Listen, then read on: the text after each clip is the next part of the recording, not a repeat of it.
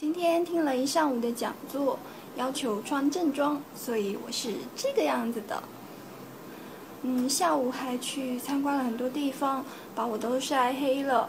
明天就要开始传说中的魔鬼训练，要上形体课跟表演课。嗯，今天就这样。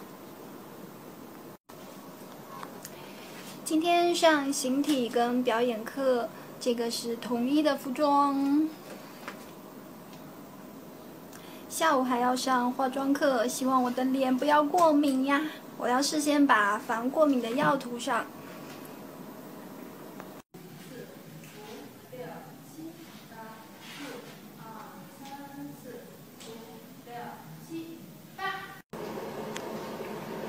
现在这样就是今天化妆课的成果，是不是变成熟好多？